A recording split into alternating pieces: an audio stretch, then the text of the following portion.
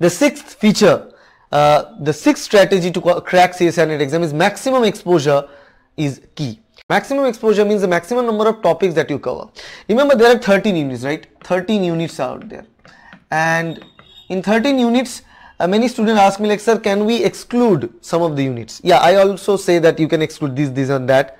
But there's no specific, uh, you know, logic behind telling you to leave a unit. I should not, right? Nobody should because the more units you cover the better chance you get to answer maximum questions. Now why i say that let me take a color that can be explained here. Why i say that? Because uh, what happens is that let's say you prepared unit 7 unit 8 unit 10 very well and you snubbed unit 4 and unit 5 and unit let's say 11 so you prepared them very well, you did not prepare this unit very well. So what will happen is that, let's assume that you prepared these units very well, you have very good expectation from the units and somehow that year, that NET exam, you found out that the question came coming from unit 7 and 8 are very very tough.